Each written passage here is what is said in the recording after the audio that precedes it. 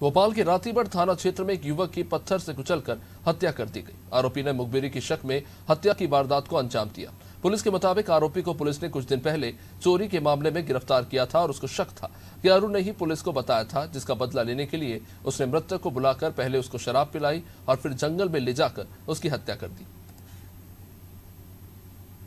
ये हत्या का मामला सामने आया है, जिसमें एक आरोपी सतीश मारण ने अपने ही एक जान पहचान के व्यक्ति अरुण की। पत्थर से कुचल के हत्या कर दी। उसके पीछे कारण यह था कि पिछले कुछ मामलों में सतीश को ऐसा शक हो रहा था कि पुलिस की मुखबिरी अरुण कर देता है और उसकी जगह लोकेशन और इस तरह की बातें वो पुलिस से शेयर कर देता है। इसकी वजह से काफ़ी टाइम से वो उन दोनों के बीच में नोकझोंक और झगड़े हो रहे थे। कल सतीश ने उसको बुला के साथ में शराब पीने के लिए और खाने पीने के लिए बुलाया था और उसी में उसने उसको धोखे से मार दिया।